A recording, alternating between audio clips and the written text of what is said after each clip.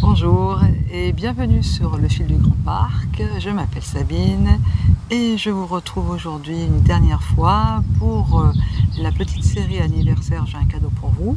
Donc c'est plus vraiment une étape, c'est plutôt euh, une petite vidéo conclusion pour vous montrer en fait euh, la petite bestiole terminée. Donc on m'a proposé Pandine, et bien ce sera Pandine, Pandine le petit panda que je vais vous présenter. Alors j'ai assemblé les oreilles, j'ai assemblé les deux bras, la collerette et euh, j'ai rajouté, euh, au dernier moment, j'ai rajouté un, petit nez. Voilà, pour, euh, je trouvais que ça lui donnait une petite expression supplémentaire. Voilà donc Pandine le panda avec sa jolie petite collerette. Voilà, j'espère que vous la voyez bien. Voilà, Pandine, le petit panda que donc vous pouvez euh, réaliser avec les explications. Alors l'étape 1, 2, 3, c'est je donne les explications à l'oral.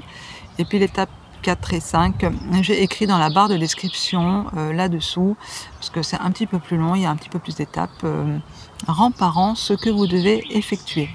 Donc pour Pandine, le petit panda, je vais prendre le temps. Voilà, Pandine, le petit panda, vous voyez la, taille. Hein.